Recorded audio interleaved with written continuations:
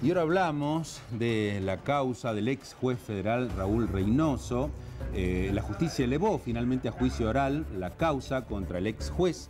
Es por los delitos de asociación ilícita, concusión y prevaricato. Su defensa ya anticipó que esta semana presentarán un pedido de nulidad para la elevación a juicio de la causa.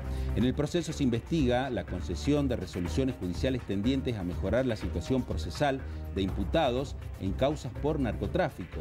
La medida también alcanza a Miguel Saavedra, Arsenio Gaona, César Aparicio, Rosalía Aparicio, René Alberto Gómez, María Elena Esper y Ramón Antonio Valor.